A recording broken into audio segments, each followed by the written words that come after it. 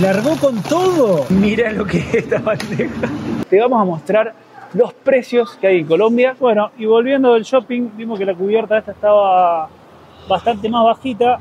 Un día más en Colombia. Nos encontramos en estos momentos en las afueras de Santa Rosa de Cabal, en el departamento de Risaralda, en el eje cafetero, y estamos comenzando ruta para ir a nuevos destinos. El plan del día de hoy es llegar hasta Manizales, así que les vamos a contar un montón de curiosidades de Colombia, así que no se pierdan este video antes de emprender ruta hicimos una parada en este lugar. Hay un montón que ya hemos cruzado en las rutas. Son como autoservicios. Fíjense que inclusive acá hay para eh, cargar los autos eléctricos. Eh, acá hay restaurante, eh, baño, em, wifi y demás se puede parquear acá y nosotros en este caso vinimos para hacer una parada para abastecernos de agua. Así que cargando agüita. tenemos un tanque de 200 litros de aguas blancas. Y además tenemos un tanquecito atrás de 20 litros que lo cargamos con agua potable. Cuando el agua es potable cargamos los dos, pero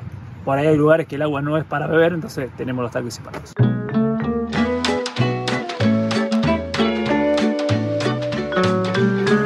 Santi se fue a ver qué había para comer mientras estamos esperando que se cargue la- el tanque. Se largó con todo. Qué buena onda la gente me prestó un paraguas para que no me moje. ¿Y había algo para comer rico? Sí, había unas tortas espectaculares. bueno, hoy fue día de quehaceres domésticos. Cargamos agua y toca cargar combustible a la jaconeta. Estamos cargando en las Primax porque está este combustible que es el Max Pro Diesel, que es de mejor calidad. Así que vamos a, a tanquear, como dicen acá. Hola, buen día. Tengo una consulta. ¿Se puede pagar con tarjeta? Este, eh, la tapa gris, por favor. Eh, Max Pro Diesel completo, por favor.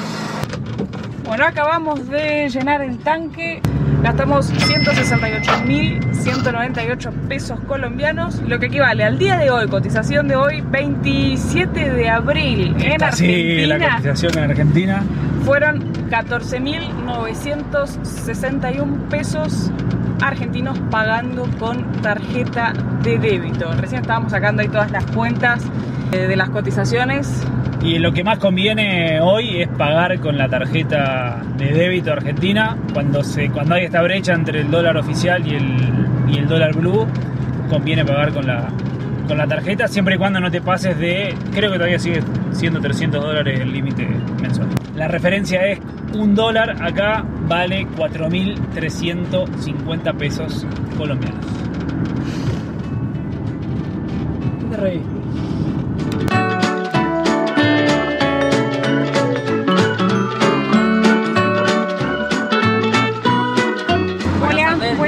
Está café de recibo 50 mil, Gracias, 35 500 que les va muy bien. muchas gracias.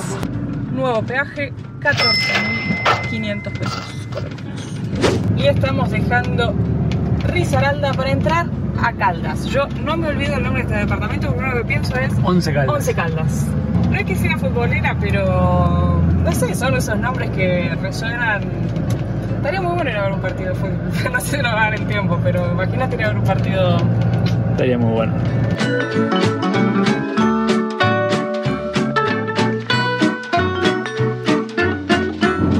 Y debemos haber hecho 5 kilómetros, entre 5 y 10 kilómetros, nuevamente peaje. 13.100 este. Y ya hemos visto varios carteles como este que dice conserve su tiquete, la policía de carreteras lo exigirá. ¿Sabes Eh, su qué? Tiquete decía. Eh, ya en otros países, si mal no recuerdo, en Chile también nos habían recomendado mucho eh, guardar los tickets porque si te llegaba a ocurrir algo y necesitabas pedir emergencia, con ese ticket lo tenías incluido, creo, si mal no, no recuerdo. En Bolivia también, súper importante guardarlos porque había varios controles, entonces te pedían ese, ese ticket. Así que mi recomendación sería siempre después de un peaje guardar el ticket y no hacerlo un, un bollito. Por lo menos por un par de kilómetros no van a guardar todos los papeles de ticket porque no le van a entrar en el vehículo.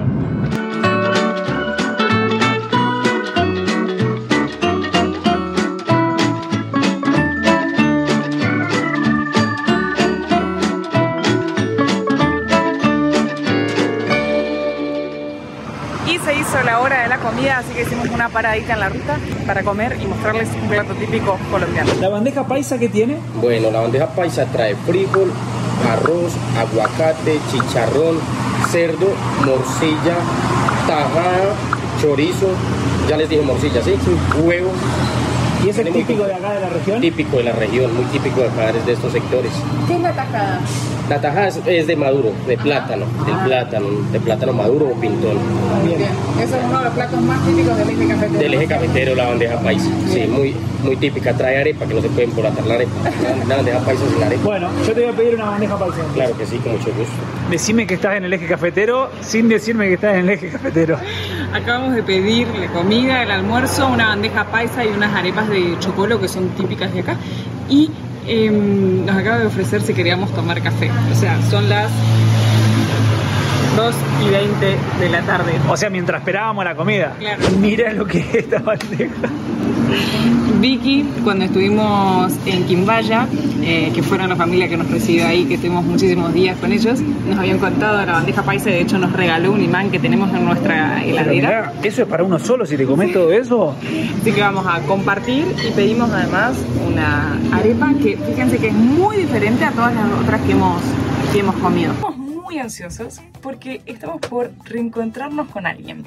Hace unos casi ¿Dos dos, casi dos años atrás, cuando pasamos por Tucumán, en Tafí del Valle y en Tucumán propiamente, conocimos a Nati y Dani, una familia con la que hicimos una hermosa relación, nos alojaron en su casa en Tafí, en Tucumán, de hecho nos fuimos a Santiago del Estero y dejamos el camper ahí, si no vieron esos videos vayan a verlos porque se los recomendamos. Y ellos tenían el plan de hacer, de ir desde Tucumán hasta Alaska en moto.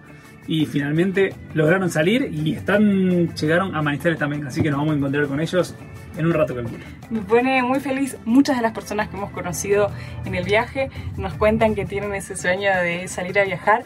Así que no saben lo feliz que me pone ver a la gente cumpliendo sus sueños. Así que estamos acá a la espera de encontrarnos con los chicos. Nos vinimos de noche para encontrarnos con nuestros amigos a la plena, al pleno centro de Manizales. Y miren qué es esta catedral. ¡Tremenda! Nos dejó, veníamos caminando así y dijimos, wow. Y encima se largó a llover, así que le da. Después ya recorreremos de día, pero no queríamos dejar de mostrárselas. Finalmente anoche nos reencontramos con Nati y con Dani. Es muy lindo poder reencontrarse con la gente que hemos ido conociendo La a lo sí. largo del y cuando, camino. Y cuando están pudiendo cumplir su sueño, como era el de ellos, de llegar hasta Alaska en moto. Así que fue muy lindo. Es más lindo aún. Así que nos quedamos acá en el centro, dormimos en un estacionamiento.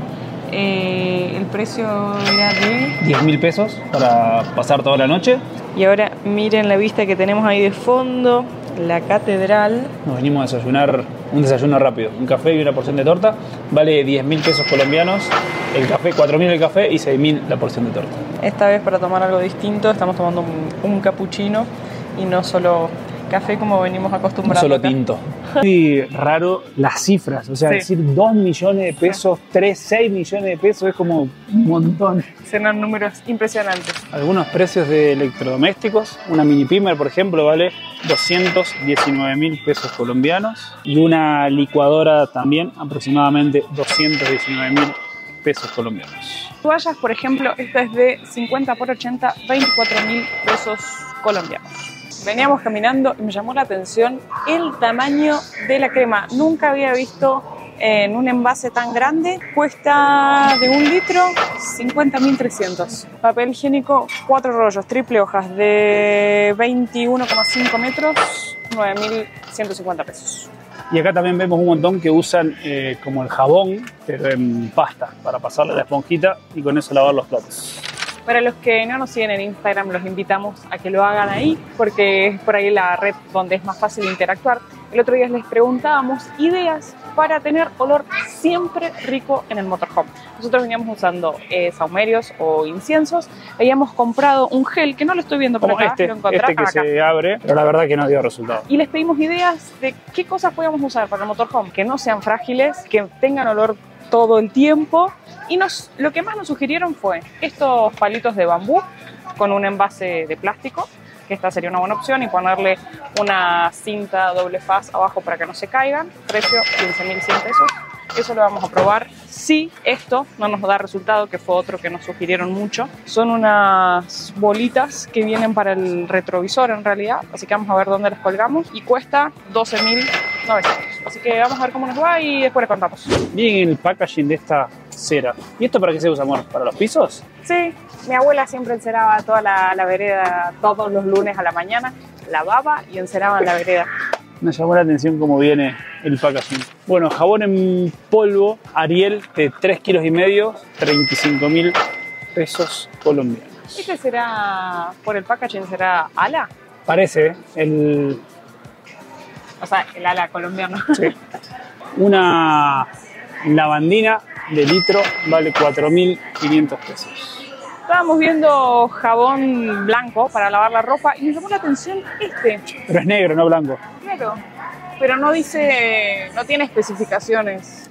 Una Presto Barba Gillette, la clásica, por 5 unidades, 10.000 pesos colombianos. Como siempre tratamos de buscar productos que se encuentran en todos los países. Un Rexona Clinical, 24.300. Un shampoo, el que uso yo, el Head Shoulder para la caspa, 23.900 pesos. Me gusta, hay mucho como eh, cosas de marketing en este supermercado. Miren acá el pote este de DAP. Una pasta de diente, vamos a llevar colgate triple acción, 6.600 pesos. Vamos con las cervezas. La Águila eh, es de acá. La Póker también la hemos probado, nos gustó mucho esta. Y la Club Colombia también, muy ricas. La poca es rica, ¿ya una de estas? Para que tengan de referencia, las 6 latas de 330 sale 13.300 pesos. Mientras que una Heineken de 270 mililitros sale 16.200.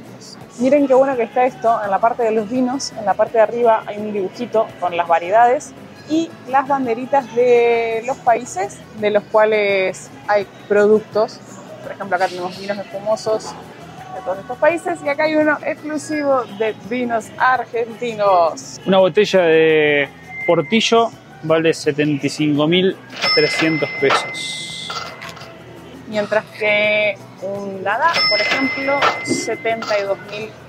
72.700. Y una bebida muy típica de esta zona que aún no la hemos probado es el aguardiente. Fíjense, este sale 48.400 en caja. Nos gusta el chocolate, más el blanco, y comemos casi todos los días. Entonces nos gusta comer una porción chiquitita. Entonces estas bolsitas tienen chocolatines chiquitos, entonces nos comemos uno cada uno de esos, porción medida. 15.700 pesos. Me llama la atención el packaging de este aceite que parece una botella de gaseosa. Un aceite de girasol de litro, 14.990. Y es impresionante la diferencia que hay siempre con el aceite de oliva. Este vale 43.000 pesos el medio litro. Nosotros usamos el aceite de girasol para cocinar y el aceite de oliva para las ensaladas o para condimentar. Pero nos han dicho que en un montón de lugares utilizan aceite de oliva para todo. Y acá tenemos precios de espaguetis, unos 2.000 pesos en promedio. Esto lo tenemos que probar, pero que no se ofendan nuestros amigos colombianos. Pero arequipe con café. El dulce de leche es dulce de leche, sin nada. Por un lado tomamos café y por el otro lado comemos unas tostadas con dulce de leche. Pero así mezclado no lo hemos probado nunca. Llegamos a la parte de los enlatados. Una lata de choclo o maíz dulce vale 5.900 pesos. Y una lata de atún vale 7.000. Un pan lactal de 600 gramos, 6.545 pesos. Y miren la cantidad de variedades de leche que hay. Leche de almendras, un montón, pero también hay de avellanas, de macadamia, macadamia, nunca lo hemos visto, y un montón de marcas. Tengo ganas de comer beijinho. O tapioca, pensé que iba a decir tapioca con leche condensada. Sí, pero habría que conseguir para hacer la tapioca y si no, los beijinhos es más fácil. Eh, Y si no, hacemos tapioca casera, que si no lo vieron, estuvimos en la Amazonía ecuatoriana, donde nos enseñaron a hacer tapioca con eh, la yuca fresca. que en realidad en la Amazonía lo llaman casabe. pero hay que hacer un despliegue bastante importante, así que no sé si lo vamos a poder hacer en otro. Una docena de huevos vale 10.700 pesos. Yo me sigo sorprendiendo con los packaging. Miren, la crema de leche con el mismo, en el packaging, eh, que no sé cómo se llama este material, pero es con No el sé, sachet de la sachet. leche. Y sin refrigerar. Eh, no, igual la crema de leche no hace falta que esté refrigerada. Sí, en Argentina está siempre refrigerada, crema de No. Ah, ¿Dónde era? ¿En Brasil que la veíamos así? leche. Ujú. Ah, es verdad, ya estoy perdida. Eh, pero bueno, este de 400, perdón, 180 gramos, 4.500 pesos. Y tan típico colombiano como la arepa. Acá te venden la harina, harina Diana. Y si no, ¿cuál era la conocida, como dijiste vos? La pan, esta yo la he visto creo que en varios lados.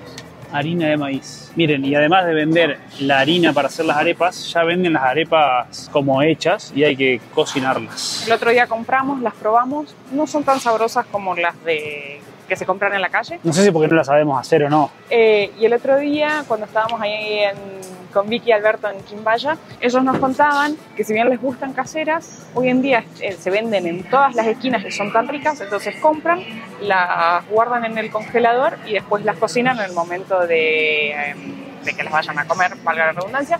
Así que yo creo que vamos a hacer eso, vamos a buscar algún lugar, nos vamos a toquear, las vamos a guardar Un queso feteado tipo mozzarella vale 15.700 pesos. Queso untable, vamos a probar este. Cremosino, 11.200 pesos. ¿De cuánto es? ¿De De 380? 380 gramos. Ya en Ecuador les habíamos mostrado los bolsones de arroz bien grande, pero ahora ya inclusive vienen, miren, acá los encontramos con, con manijas, la bolsa, una bolsa muchísimo más resistente. Esos 10 kilos salen 46 mil pesos, mientras que una bolsita de un kilo, unos 4.600. Ya podemos hacer las tapiocas, ¿eh?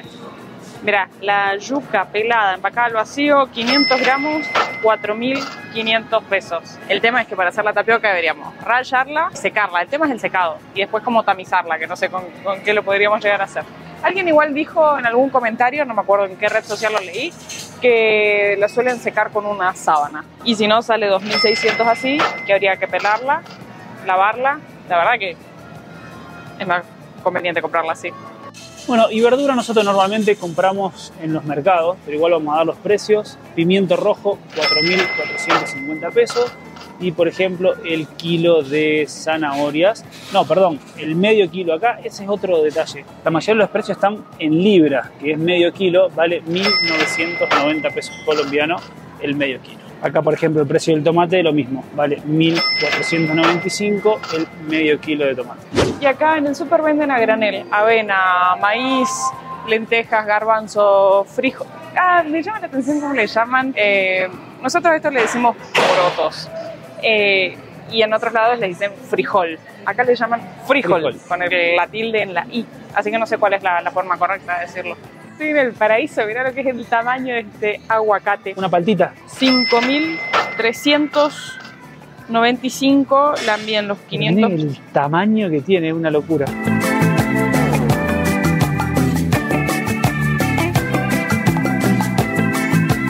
Y pasamos por la carnicería, le vamos a mostrar el precio de la carne. Mire, acá están todos los cortes. Lo más raro son los nombres. Los precios están todos por medio kilo. Bola negra, callo de res, loncha de pernil de cerdo, pernil de pollo, espinazo de cerdo, pechuga de pollo. Bueno, un montón de nombres raros.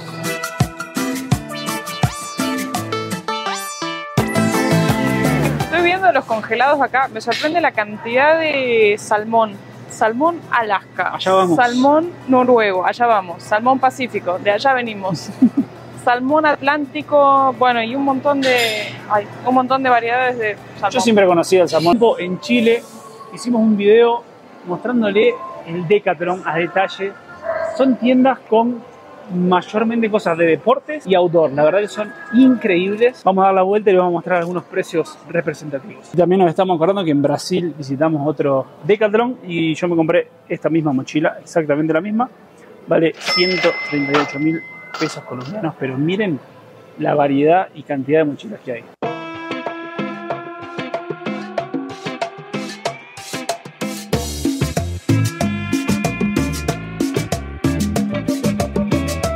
Y lo mejor que tienen estos lugares es que está todo para probar. Digamos, tenés, por ejemplo, las sillas, hay una de cada modelo abierta, las carpas para ver los tamaños, los aislantes, eh, que acá en Brasil también nos compramos nuestros gelantes inflables, colchón inflable. Por ejemplo, acá miren, tenés un, equipo de camping totalmente armado con la carpa, la sillita, la mesa, los platos. Todo lo que hay se vende de forma individual.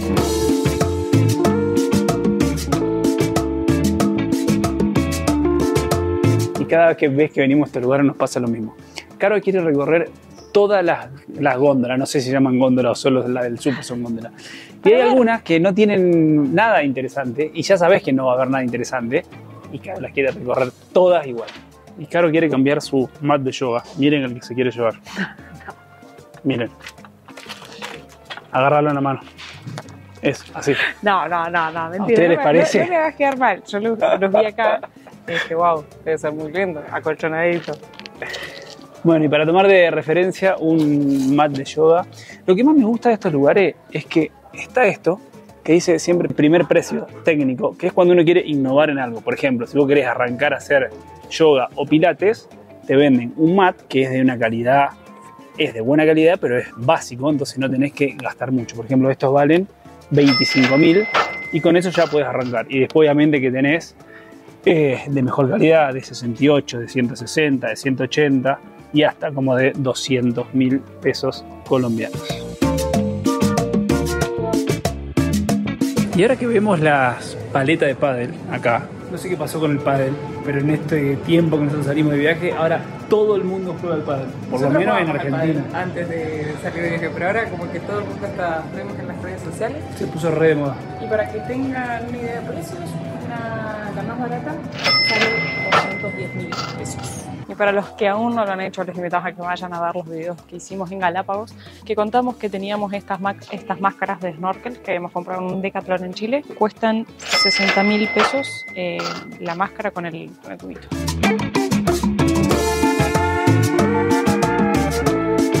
Miren, y acá encontramos nuestro kayak y hay un montón, miren el tamaño que tiene este triple.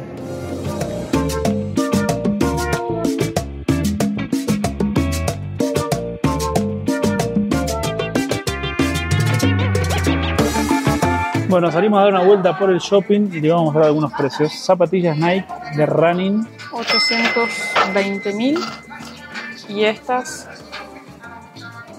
1 millón 20 mil. Bueno, y entramos a un local de Adidas y preguntamos por la camiseta de Argentina y nos dijo que imposible, está agotada hace mucho tiempo. Así que Santi me quería eso de regalo de cumple, pero no, no tenemos suerte. No se está todavía no te la conseguir. puedo conseguir. miren, por ejemplo, el precio de un jean son 229 mil pesos. Y una remera de algodón rondan aproximadamente los 100 mil pesos colombianos. Me encanta ver el tamaño de los televisores. Por ejemplo, este Samsung de 70 pulgadas vale 3 millones de pesos. Tremendo tener un tele Caro le encanta venir a estos lugares. Hay muchas cosas que es imposible llevar en un motorhome, pero no importa, le encanta recorrer. ¿Qué has encontrado?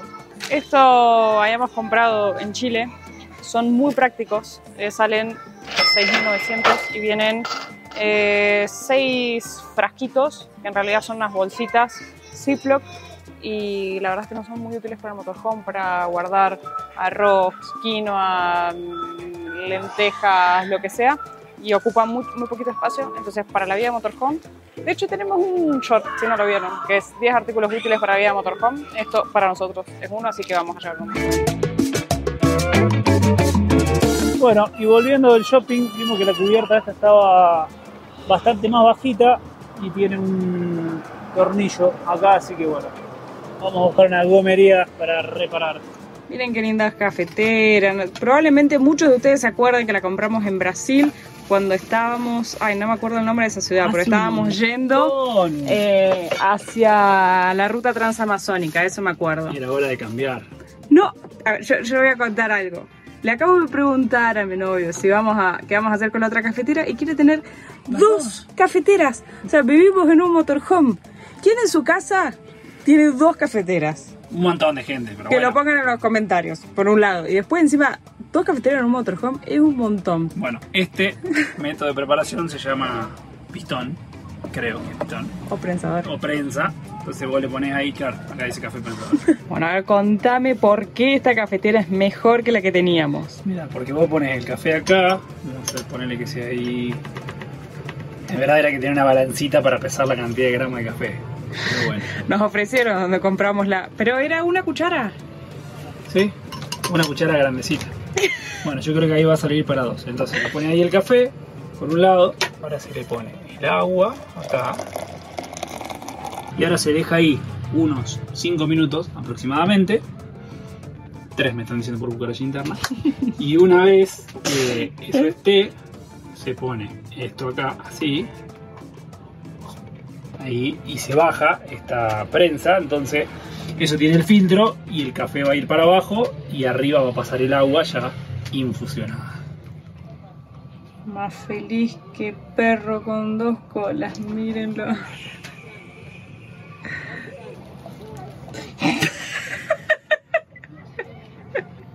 o había mucha agua o mucho café. No, creo que le hice mucha fuerza. Fíjense el color del café, que eso lo aprendimos acá con todas la- las cosas que hemos estado aprendiendo de- del mundo cafetero. Que No es negro. Exactamente. Nosotros en Argentina estamos acostumbrados a, a ver un café bien negro. El buen café dicen que es así, clarito. Porque esto significa que el café está menos tostado. Entonces cuando el café es malo lo tuestan más. ¿Tuestan se dice? Sí, perfecto. Para que. mm, para ocultarle las. digamos lo malo del café. Entonces cuando el café es bueno lo tuestan menos y entonces no queda tan oscuro. Y cafecito en mano, dejamos la jacuneta acá y vamos a salir a caminar por esta costanera que dice que es muy típico venir el fin de semana a caminar por acá. Después de todo el recorrido que estuvimos haciendo hoy, volvimos nuevamente al Mirador Chipre, que es donde habíamos llegado ayer, pero lamentablemente como el clima no acompañaba, no se podía disfrutar de la vista de la ciudad. Así que vamos a caminar y poder mostrarles que dicen que es una de las vistas más lindas Mirá que el tiene tamaño Manizales. que tienen esas arepas, de arepazo, gigantes. Y hoy hemos tenido suerte. Miren lo que es esta vista.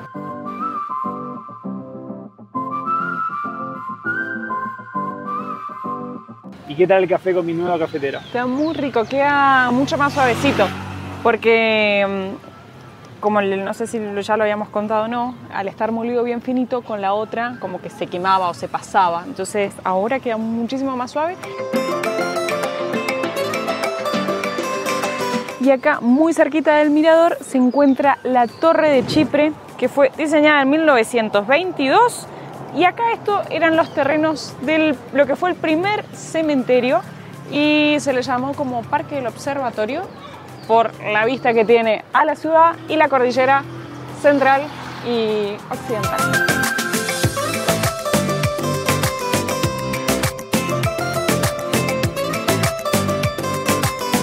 Y a la torre esta se puede subir, hay un mirador allá arriba y tiene un costo de ingreso de 15 mil pesos colombianos. Pero como salimos a caminar a tomar un café, no trajimos la billetera, así que veremos si volvemos luego.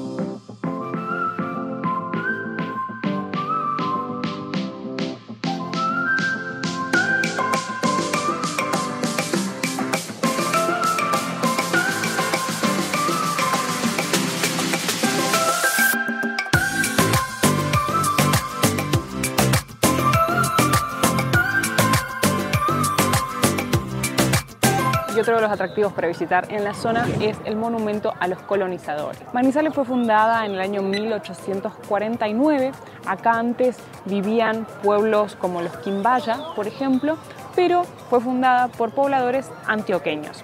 Y acá en este monumento hay dos grandes obras. Una es la obra Agonía, donde se representa las dificultades que tuvieron estos pobladores antioqueños en el camino cuando venían para acá y después la obra Éxtasis que es la que se encuentra a mis espaldas donde simboliza el éxito de haber llegado hasta acá y fundar Manizales, hoy en día capital del departamento de Caldas.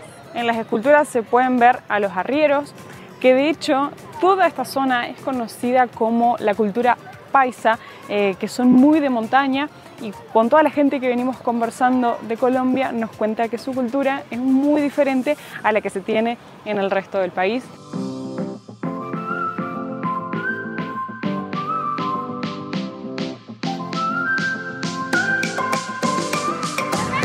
Y con este atardecer nos despedimos el día de hoy. Y me sigo poniendo un poco nostálgica. Nos íbamos a ir ayer de la ciudad de Manizales, pero justo nos escribieron otros viajeros. Viajale por América y ahora voy a contar un poquito la historia. Entonces, que llegaban a Manizales y nos quedamos para poder compartir y disfrutar un, ratito con ellos. Ahora nos acabamos de, de separar. Pero los chicos, Jesse, Mati y Ale, una pareja que viaja con su hijo de 4 años, los conocimos en Río Grande, allá en diciembre del 2020, cuando nosotros estábamos yendo hacia Ushuaia. Y, ellos todavía no viajaban, tenían una vida totalmente. Tenían su proyecto, estaban camperizando eh, su motorhome, así que pueden buscar en los videos anteriores. Y los volvimos a cruzar el año pasado, justo hace un año aproximadamente, eh, para mi cumple en Uruguay. Y ahora encontrarnos acá nuevamente en Colombia.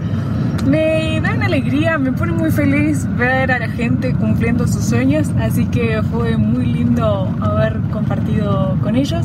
Y para todos ustedes que están del otro lado de la pantalla, anímense, luchen por sus sueños, eh, que la vida es corta. Y dejando nostalgia y melancolía de lado, nos vamos a una gomería o montallantas, como le llaman acá.